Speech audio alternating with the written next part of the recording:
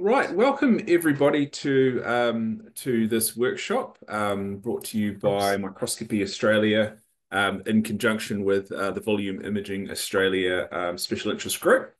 Um, with me uh, here today is um, Juan Nunez Iglesias, who is a Senior Research Fellow at the Monash E Research Centre. Uh, Juan's been uh, working on image analysis tools and techniques since 2009. Um, after attending the SciPy uh, 2012 conference, he's become an active collaborator in the scientific Python ecosystem and has joined the team for the Scikit image analysis library, co-authored the book Elegant SciPy, um, and has taught numerous scientific Python summer schools and created widely used um, libraries such as skan and Napari, which we're all here to uh, use, which is a fantastic software. Um, and since 2018, he has been supported by a Chan Zuckerberg Imaging Software Fellowship to continue to develop the image analysis software ecosystem in Python. So without further ado, I will turn you over to Juan, um, who will teach us all about Napari. Yeah, so I'm going to talk about Napari, which is um, a multi-dimensional viewer in Python. Um, so actually, I will do the, the takeaway slide. Um, so Napari is free, it's open source, uh, it's fast. I'm going to put that in, I should start putting that in quotes because people keep challenging us with bigger and bigger images, and then it's no longer fast. Uh, but it's faster than what was around when we made it. Um, uh, and multidimensional. And I think Napari's big idea is really like it doesn't care whether it's a 2D image, 3D image, 4D image, 5D image, whatever you want. Um, and so people do do really fun things with that. Um, it's written in Python uh, and it works best within Python. Um, so um, yeah, I think some of the messaging um, for a couple years, I think you know people got caught up in the excitement and um, people without Python experience try to use it, and it can be frustrating because it's still like a growing, evolving, you know, beta ecosystem, and so um, you can run into errors. And if you're a Python user, then you can recover quite well. If you're not a Python user, uh, yeah, it can just be frustrating. But if you have a Python user next to you, then you can just bug them. Um, yeah, it lets you look at images. Um, so um, I think the most useful has been, at least for me, has been in, in quickly exploring your data and, and sort of understanding what's going on. Um, it lets you annotate them, so you can make segmentations and edit segmentations. Um, you can also add point annotations, polygons, and things like that. Uh, and then there's a big array of, eco of uh, plugins, um, over 400 now, um, that help you do various things uh, in analysis and annotation. Uh, and Napari um, was started by Loic Royer and myself uh, a long time ago, but now it is truly a global project. Um, and um, there's over 170 contributors. Uh, and I sort of just keep an eye on things. um, so yeah, they're very friendly and they're all over the world. So we do have like support basically at every hour of the night because if it's midnight here, it's sort of you know daytime in the US, and we've got a few folks in the US and, in Europe. Um, so here's what I'm going to talk about. Uh, first, uh, using Napari just to look at your images. As I said, it, it can actually be really good for um, something like doing a quick look. Um, it's for me, it's like a little bit nicer than Fiji when it comes to like exploring 3D data. Um, overlaying derived data, so how to look at um, both your images and things like segmentations, point annotations, how to manually annotate that data, um, then a few tricks you can do to work with biggish data. Um, then uh, how to how it integrates with other scientific Python packages such as PyTorch and Matplotlib. I think PyTorch is kind of like one of the big things why people use Python. Uh, look at some plugins. Uh, there's going to be a bit of time where we try to gather some of the annotation um, plugins that are out there that uh, I wanted to spend more time playing before this talk, but I haven't. Um, but um, I've played a little bit and we can sort of uh, have a look at them together. And then finally, I'll tell you about the community and how to get help and get involved. Um, again, this is now a global effort and uh, it's it's pretty good time to pop in and if it's not doing exactly what you want, um, see if you can um, help us make it better for you. Um, okay, so now we go to the live demos. Uh, which could go very well or very poorly, as everyone knows. Okay, so I think everyone can see my screen, uh, and there's a Jupyter notebook. Um, so the first thing I'm doing is I'm reading uh, kind of a biggish 2D image. Um, so this is 10,000 by 10,000, so uh, 100 megapixel image. Uh, so it's quite big. And typically, if you're a Python user, you would this is what you would do with the with any image. You would do plt.imshow and you would show the image. And this is fine. Um, but if you want to do any kind of interactivity, it's kind of a little bit slow and clunky. Like it's not really, it's a plotting library that can display images rather than an image visualization library. Um, so everything is just a little bit uh, not ergonomic for, for looking at images. Uh, instead, if you do Napari.imshow, um, that makes a viewer and a layer for you, and we'll talk about layers in a bit, um, and places it in, and now you can zoom in and out with the mouse um, and pan, uh, and it's all very, very smooth because it's a single OpenGL texture that you're looking at. Um, the other thing, we recently added pinch to zoom. You can't see it, but you can you can use pinch gesture on your uh, Mac if you have that, uh, or you can just use scroll. Um, so that's that. Um, then if you have multi-dimensional data, such as a 3D volume, then matplotlib is at this point useless. Uh, so this is uh, data from the Allen uh, Institute for Cell Science, uh, AICS. Um, it's a very small subset, but it'll do for our purposes. Um, and it's uh, 60 um, slice Z stack with two channels. Um, so again, if you try matplotlib on this, it's going to tell you that your data is invalid um, because it's not traditional image data, it's scientific image data. Um, but if you use Napari.imshow, you can give it the array, um, which accesses the channel axis and a scale, um, and then it will. So what Napari does is for every dimension that your image has, uh, it will put a little slider here. Um, and so now I can sort of scroll through the, the whole array very easily. Um, and you can switch, there's a little switch button, which I'm sorry, the icon needs to be improved, but it's one of those things that we're like, we'll do that later. Um, but this, this lets you toggle to 3D view. And then what it does is it removes one of the sliders and now you can look at your data in 3D. Um, something that few people know is that you can right click on this as well and turn on perspective, um, which is nice. Uh, the one thing is not all of the 3D interactivity works in perspective mode. So this is only good if you want to look at data. If you want to click on things, then um, it doesn't all work uh, as expected. Um, that is something that we are working on. Um, so I'll go back to not perspective for now. Uh, orthogonal projection. Um, okay, so that's the basics, uh, how to use Napari to look at images. Uh, now I'm going to talk a bit more about what this multidimensional and arbitrary dimensions means. Um, and I really like this example um, from Alister Burt, uh, who's currently at Genentech. He was at uh, Cambridge when he did this. Um, so what he's done is he's done a PCA analysis of a whole bunch of particles from um, a cryo-ET dataset.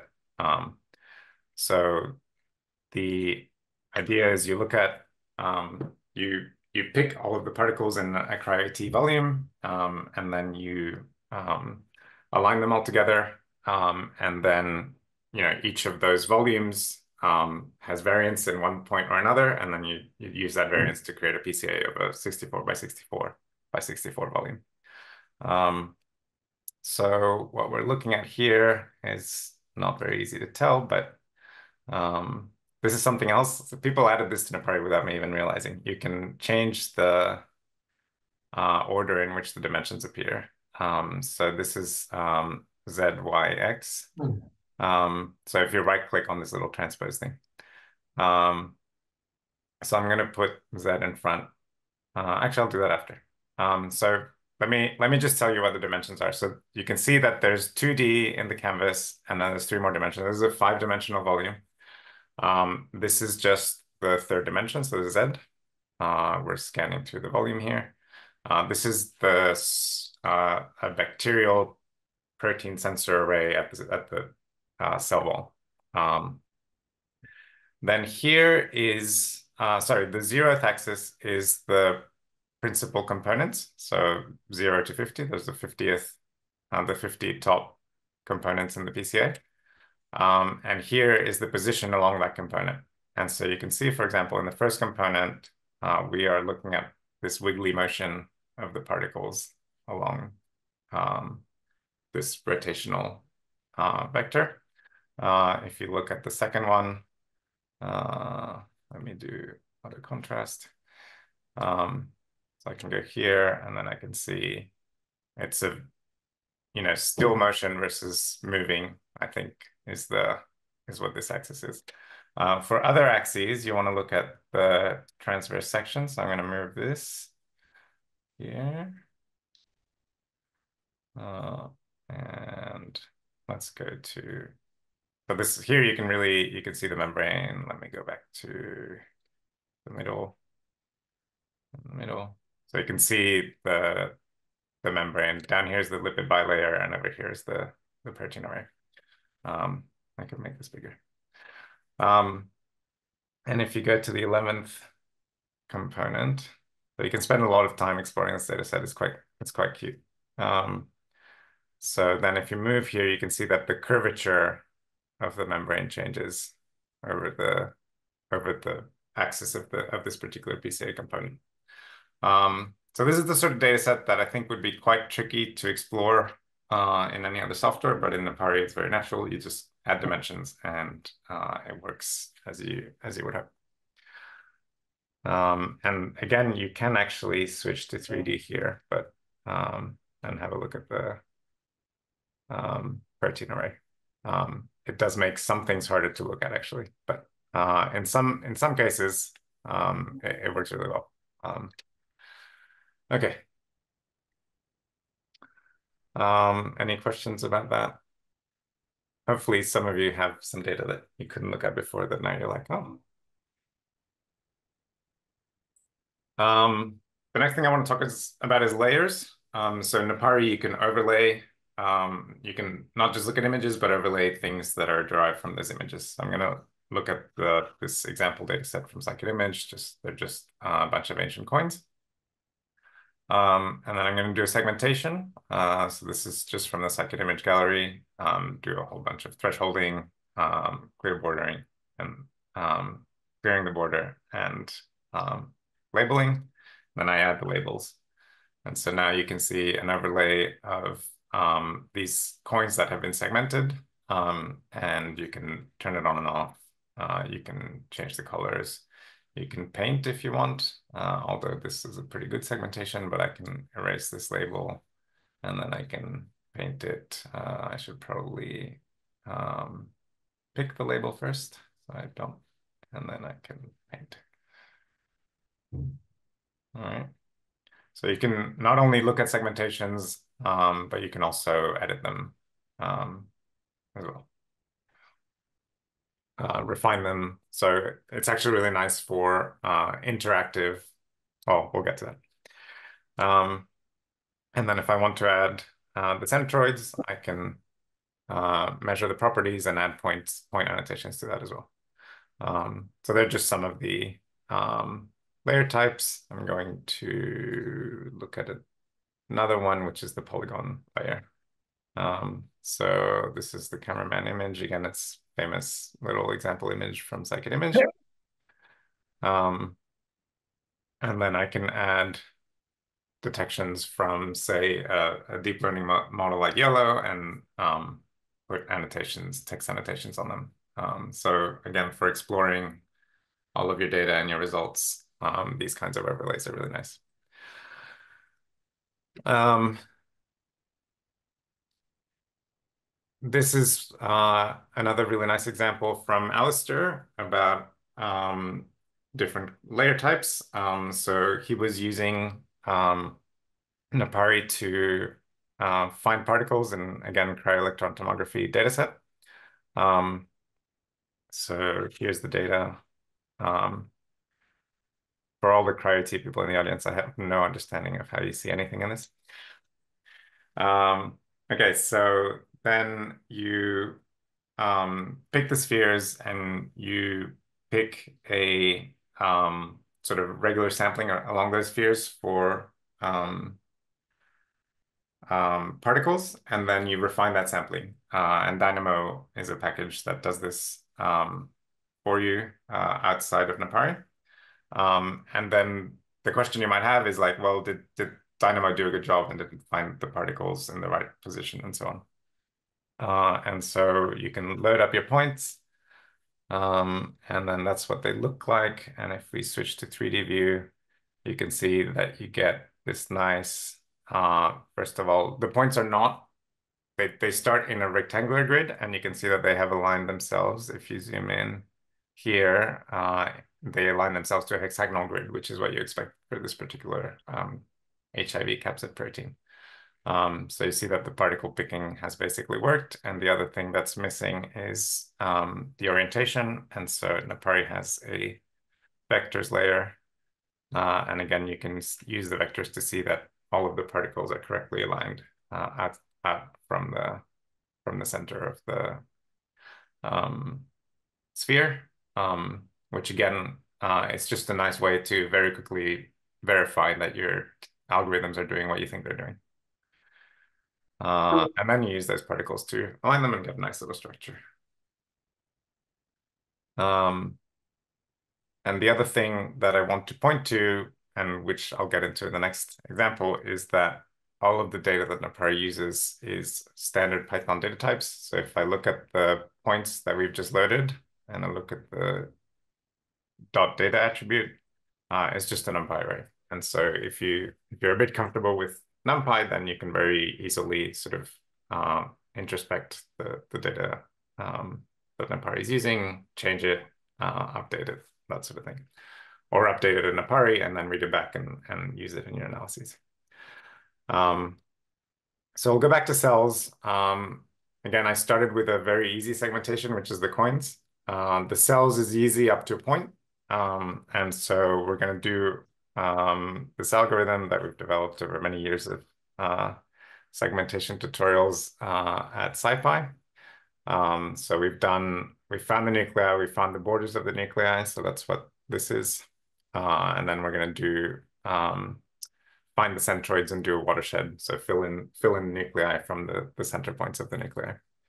Um, so that's what these do. I'm not going to dwell too much on them. Um, and this is a labels layer here. Um, so now we've we see that we've done a pretty good job with the segmentation. Um, there's only two things. These, um, sorry, so we haven't actually done watershed. We've only done um, uh, connect components. So you can see that these nuclei merged, these nuclei merged, these nuclei merged, and this sort of uh, mitotic cell is merged. Um, so now the idea is we're going to try to find the centroids of these blobs and then do a watershed to separate the, the blobs. Um, so that's what you sort of get with your standard um, point detections. Um, and you can see that it's done a pretty good job, but it's missing one here. Um, and it's missing these two. Um, so if we want to um, you can spend a very long time fiddling with parameters here, or you can spend very little time by just annotating these three points uh, and then um, continuing with your analysis. So what we're going to do is we've got the points. Uh, I'm going to go back to 2D. Uh, I'm going to make sure I'm looking at the right cells um, that are missing points. And they are this one, this one, and that one. Um, so then I go to points add mode, uh, and I'm going to add a point.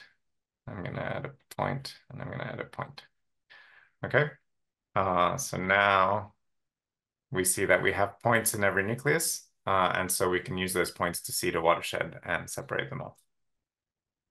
Um, so here you can see these are the automated points that we found. They're all integers. Uh, then when we added some points, they're in an integer plane, but they're in floating point coordinate wherever we added them. So these are the three three points that we've added, and we you can see that we you can just grab them from the layer data. Um, and now we are doing the watershed, and we see that we've separated these nuclei. Uh, we fill these in, and these are separated, but not perfectly. And this one is not separated. What's happened, uh, and this can happen very commonly with a watershed, uh, is, uh, yeah, if you look in here, this is one label. So if you focus on here, you can see that there's a label, so it's 17 now, and this is 16. So this one's sort of gotten enveloped by the by the 17 label because this nucleus sort of had had boundaries within it. Um, so what can we do? Um, so Napari actually has some pretty nice 3D interactivity. Um, it's not as nice as I would like it to be, but uh, it's something that we're actively working on. Um, so you can actually separate these two uh, bodies by turning on the eraser, saying that you want to edit in 3D here. Um, and then maybe making this a little bit smaller. Um, and then it's kind of, for those of you that have played Minecraft, it's like chipping away at things in Minecraft. Okay, so it's sort of plowing through. I'm holding down the, the mouse button uh, and I'm, I'm sort of milling here. So now you can see that there's not any connection between those two parts. And I'm going to do the same thing over here, actually.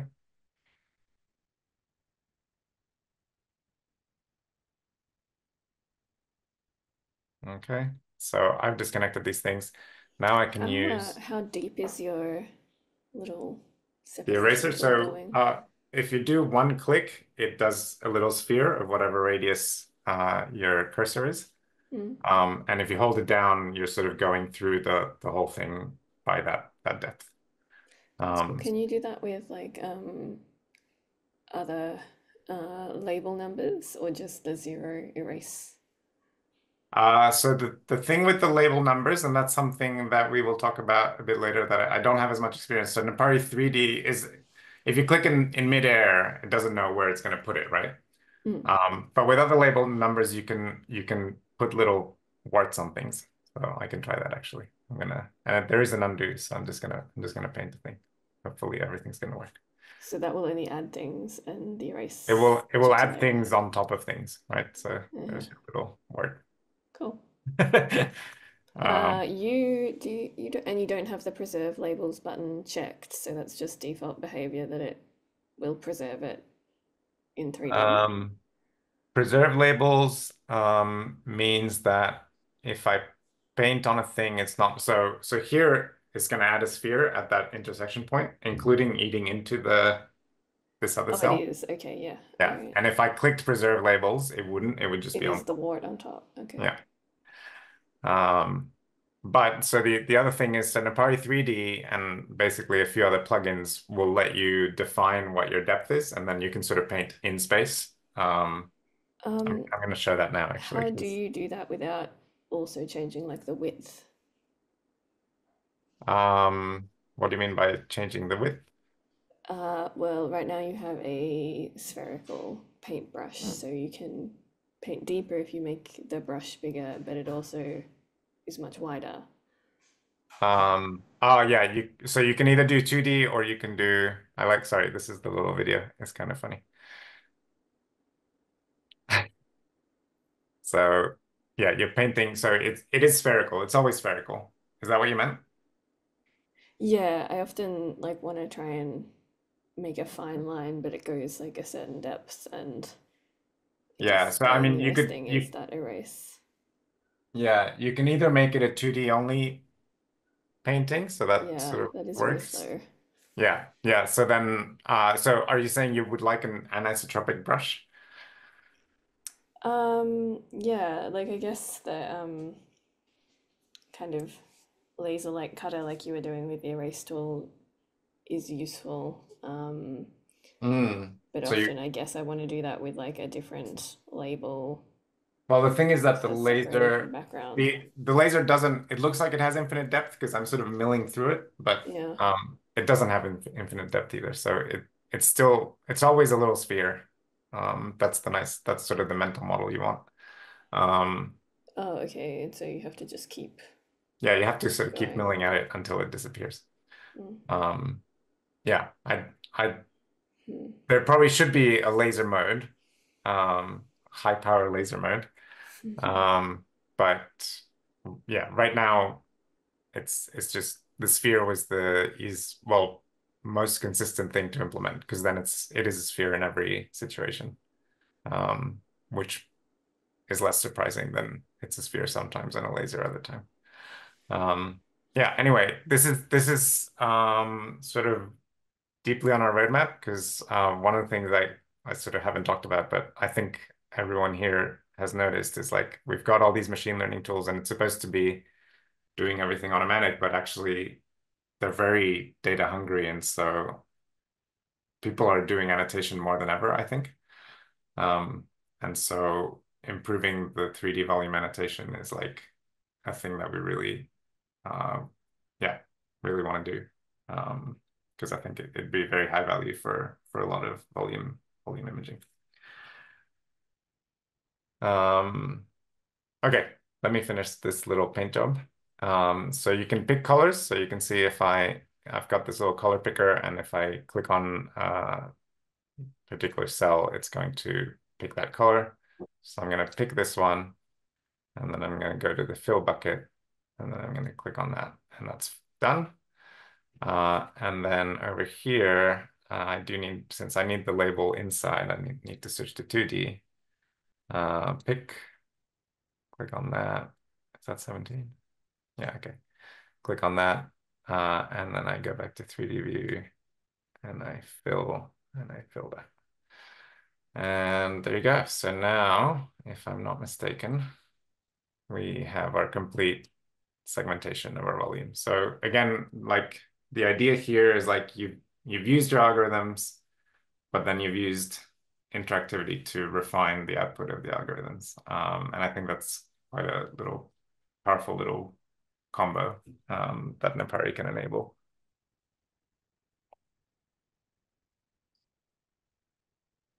Uh, okay. Uh, any questions on that? That's sort of the most of the thing on Napari interactivity. Um, so the next thing uh, on the little roadmap I made was um, big data. Um, so Napari, um, it depends on the bigness of your data, whether it's doing well or not. So if you have a really big 2D image um, and you have a multi-scale pyramid, um, that works really well. Um, if you have a big 3D sorry, if you have a, moderate sized 3D volume with a lot of time points, um, then that also works really well. So you can look at Napari will using um, tools like Zarr. Uh, Napari will load the data lazily. So uh, here I am, this is a 213 gigabyte um, time series um, from the cell tracking challenge. Um, and so it's got um, basically a two gigabyte uh, volume for each time point, and it's got 60 time points. Um, so yeah, more than two gigabytes. Um, but it's chunked. And so what that means is that whenever we load a time point, we we only need to load the chunks that belong to that time point. Um, and in this case, it will only load um, the 3D image data, and it won't need to load the full uh, data set. So I could just do viewer.imshow. Uh, this is a bit of a bug. Um, and then I can move around Z and it's only loading the chunks um, that are um, that are being displayed. Um, so I can also move a long time and you can see it's pretty quick. Now, if I switch to 3D, uh, it's going to take a while because now it's loading a full two gigabytes. Uh, and it's also like not super responsive here. Um, but it's it's usable. uh, and you can change. Uh, I really like attenuated mid for 3D volumes because they give you uh, a better, you know, sense of 3D compared to just the maximum intensity projection. Um, and then if I click a new time point, it's going to take a little while because again, it's loading two gigs from disk, um, but it's not too bad. Um, so um, the next step that you want to do though is if you want to have this all be responsive, then you do a multi-scale pyramid. Um, so here I've only loaded the raw chunks. Um, with Napari, you can feed it um, a sequence of arrays that are decreasing in size, and then we'll interpret that as a multi-scale pyramid. Uh, and then it will only load the scale that you're looking at in 2D. In 3D, it only ever loads the lowest resolution scale, but um, that's something, again, that we uh, have some work in progress to fix. Um, ideally, what you actually want to do is you want to load the level of detail that is a high level of detail close to the camera and a low level of detail far to, from the camera. So that's something that we're working on. Um, one thing that I do want to show is if you're a Jupyter Notebook user, um, the Napari API is um, responsive. Um, so, and, and bidirectional. So if I take the contrast limits here and I adjust them, uh, so I'm going to make it a little bit brighter, for example. Um, I can go over here and I can read them. So these are the contrast limits I just set.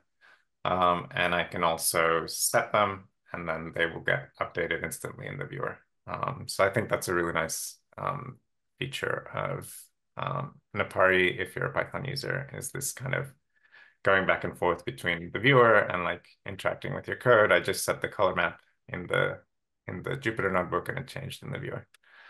Um, and again, so then you can see that it's changed correctly. Um, so I was just talking about multi-scale, so I'm going to close this one and do this other thing as well. Um, so now instead of opening, uh, I've just opened the zero here before. Uh, i am opening the first resolution level, the second resolution level. Uh-huh. I'm going to rerun everything up to here.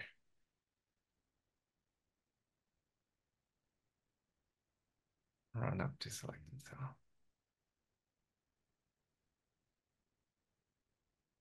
Oh, it's going to launch a whole bunch of notebooks. All right.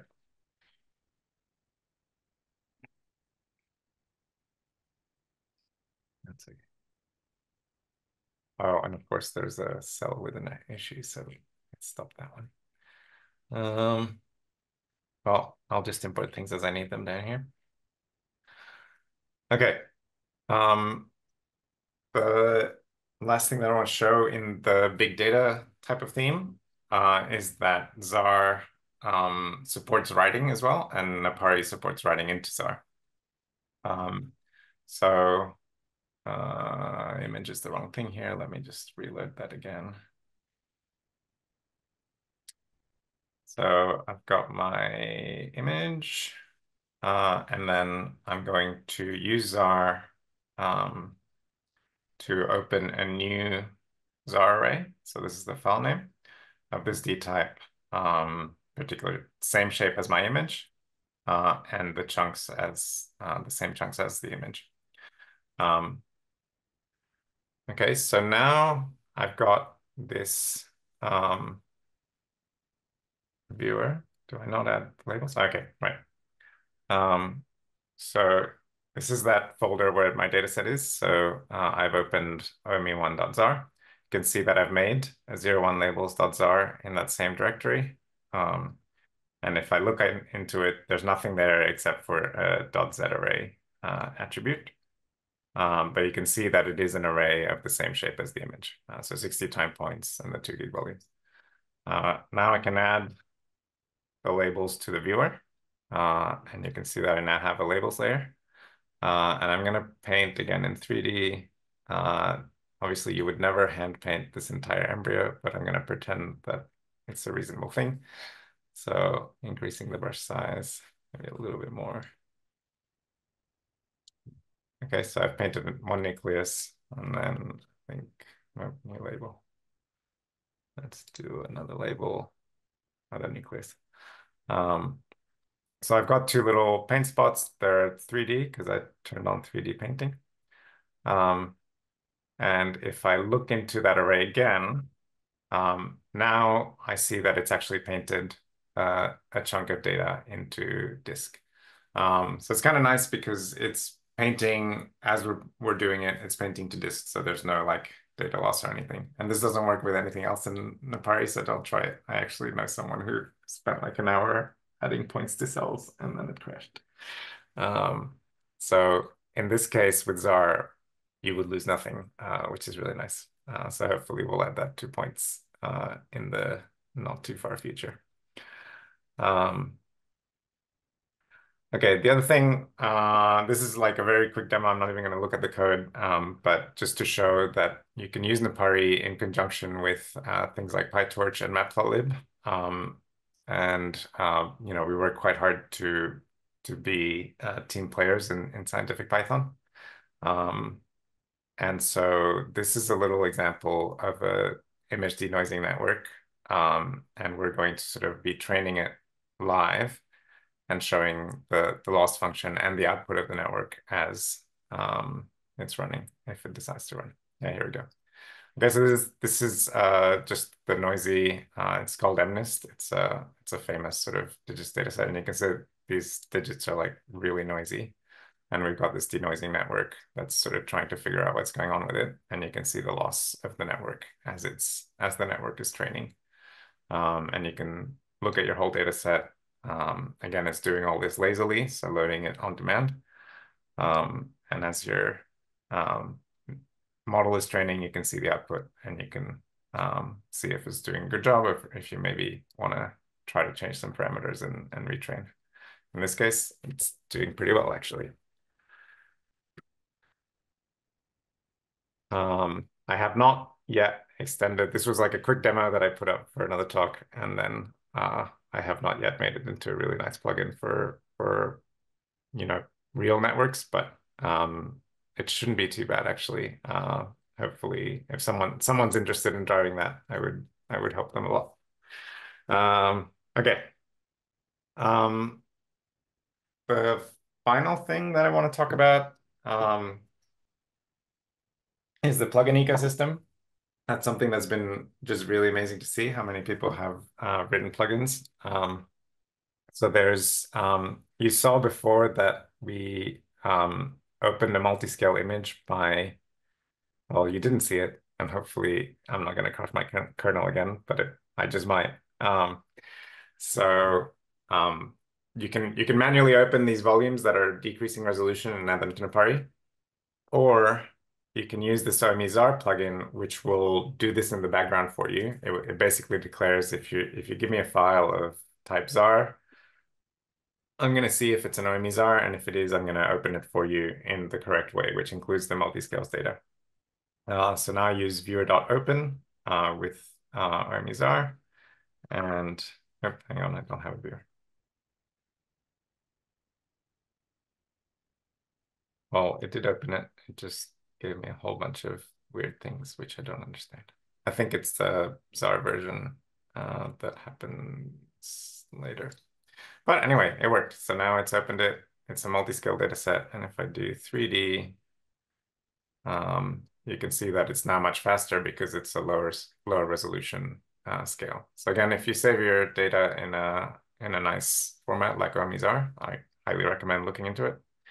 Um, then um, exploring your data with Napari is really nice and smooth. There's, you know, just to show the breadth of things, if someone wrote a Napari PDF viewer, so you can actually open PDFs in Napari and read them like that if you were so inclined, which you probably should not be.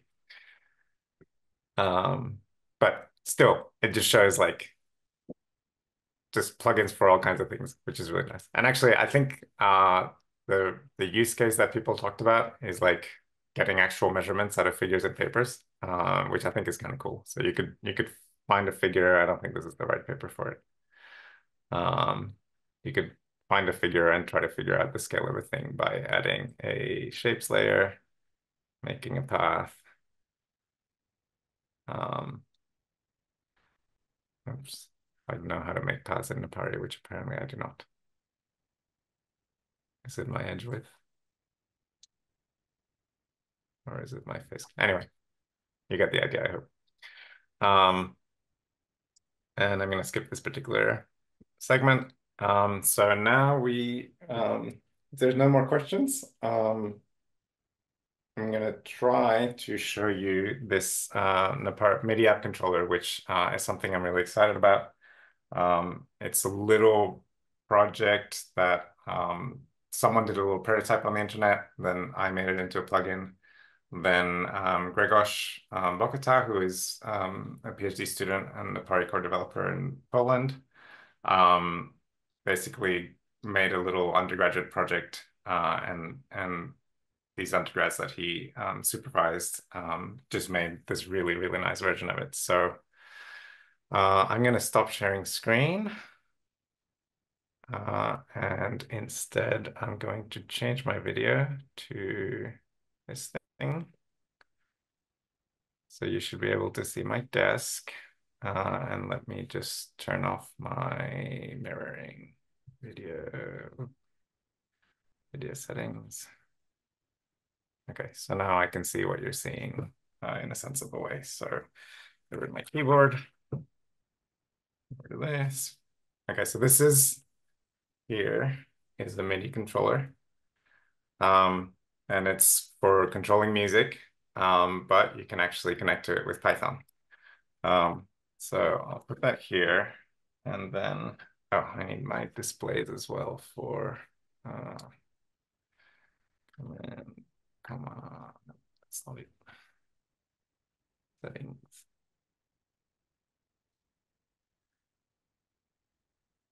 Okay, I'm gonna extend to one's iPad. I'm gonna arrange. Yep, done. Okay, so now here's the iPad. So this is this is this little um, workflow that I think if you're gonna spend like a day annotating your data, um, this is a really nice setup, minus the stupid cable. All right. And people see that more or less. Yes. Okay. And now I'm going to launch Napari, which I should have done earlier. Uh, I'll do that up here. Okay. Okay, so now I move Napari to this thing.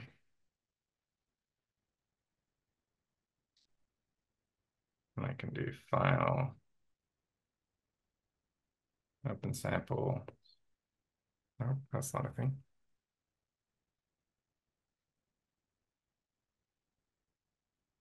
And I'll do the cells 3D just because I like it. Okay, so everyone can see the cells. Um, and I can also do preferences. No, that's not what I want. I want plugins, uh, MIDI controller status and settings. Oh no, I see an error. Why is there an error? The wrong Pydantic version. No, it's unhappy. I'm sorry. It looks like I cannot show the MIDI controller. Um, all right. Well, the last thing I will show then before going back to the presentation is, uh, again, sorry.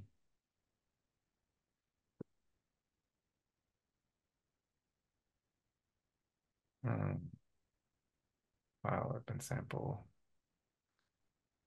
Uh, um, so we talked about painting a few times.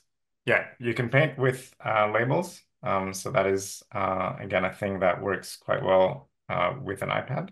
Um, so uh, again, it's a very nice way to um, have a painting session that is uh, not wanting, you know, suicide inducing.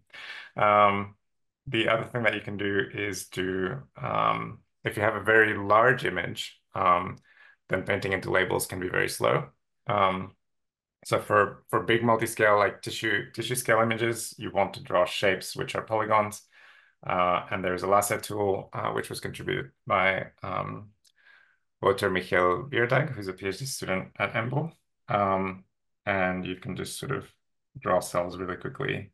Um, and if the MIDI controller was working, you would use the controller to switch between slices. Now we have to do this like, and then um, draw some more draw some more polygons basically.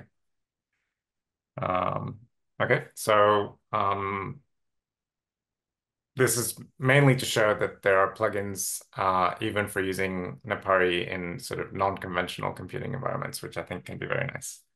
Um, so yeah, here's here's one of that workflow again about um, annotating. These are very large tissue samples. Um, so again, Napari can show big 2D multi-scale images quite well. Uh, and polygons scale, you know, with whatever um, size. So it's you you don't have to worry about painting into, you know, 15 megapixels. You're just painting a polygon, which is the same kind of scale free.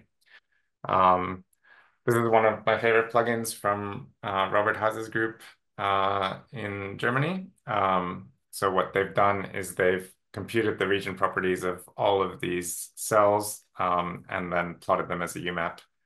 Um, well, done a UMAP reduction and, and plotted them, and you can see how selecting different parts of the UMAP will select cells with different properties.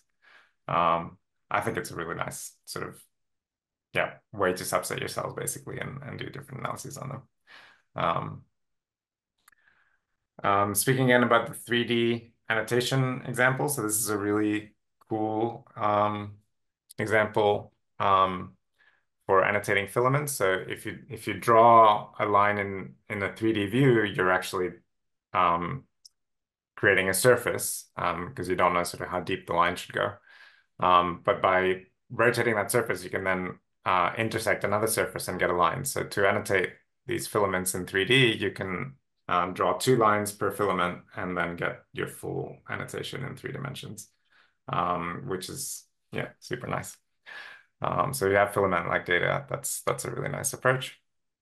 This is, uh, again, from Alister um, before he was at Genentech. So uh, this is called um, Napari Subboxer, and it's a way to pick particles manually uh, in three dimensions and orient them in three dimensions. So this was a, a particle that they couldn't get any of the automated algorithms to um, select correctly. And he sort of very quickly found, um, well, I think it's a putative new protein that they found um, by by doing these alignments uh, at the cap of these microtubules. Um,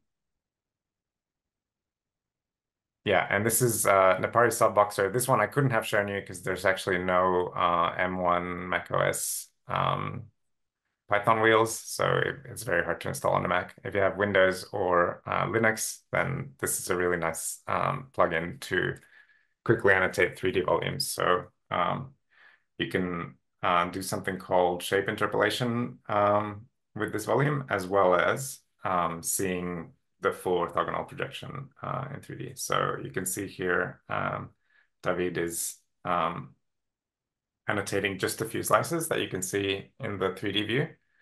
And then once he's done those slices, then he will hit an interpolate button uh, soon. yeah. And uh, with a bunch of methods that fills in the full label. Um, so now if you go to 3D, you can see the full 3D label annotated. Um, so yeah, really nice way to do 3D annotations. Um, rather than um, yeah, having to do every single slice. Um, okay, and with that, this is my credit slide. Uh, as I said, Napari is developed now with the help of hundreds of people, but uh, out of those, um, quite a few have sort of sort of stayed uh, a bit longer with the project. Um, there are core developers, so Genevieve, who's on the call, uh, is a core dev. Draga uh, currently my PhD student, um, though she wasn't my PhD student when she became a core dev. Um, and Lucy um, on the bottom right. Um, then you've got the European cohort. Um, so Kevin Yamauchi, he's the hiker dude. he's part of the, yeah, he did a lot of the 3D in, in 3D interactivity stuff. And actually, I just realized I'm not going to have time to name everyone, but uh, just to show that it's a really a, a global cooperative project. Um, and um, if you want to learn more, get involved. Um, we are uh, on, uh, hopefully not Twitter, come to Mastodon. It's really nice. Um, and we do have a real-time chat that you can find uh, people, um, yeah, at odd hours of the night or during the day um, to get help with your Napari usage. Uh, and we do have open meetings as well. So you're welcome if you if you have a cool demo with Napari or you want some help, you're welcome to come to those. Uh, and that's the, the calendar link. Uh, and the final thing I do want to say is we are actually looking for sponsors. Um, Napari, like a lot of the, yeah, a lot of this work takes a lot of effort, uh, and it's hard to sustain effort without sustained funding. Um, and Napari has some funding, but um, not enough to sort of keep up with with the demand for for new features. Um, so if you know of anyone who might want to sponsor us uh, or who could, we are actually looking for um, yeah different ways to raise money. So things like uh, paid workshops and things like that. Uh, and if you know anyone who can contribute to that, then please get them in touch with us. And that's everything.